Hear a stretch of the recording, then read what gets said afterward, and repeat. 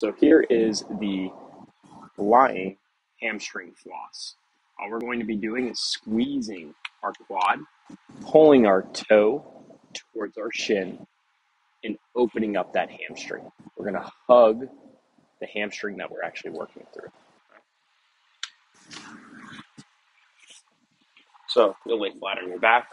One knee is bent. We're going to work on our left hamstring in this position. Okay, so we're going to grab right through that hammy.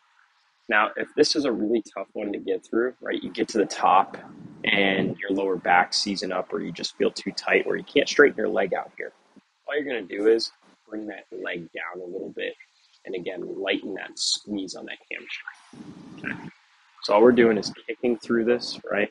Heel comes down, knee bends up to the top, flexing our quad, pulling our toe towards our shin, and back down. Hamstring flex.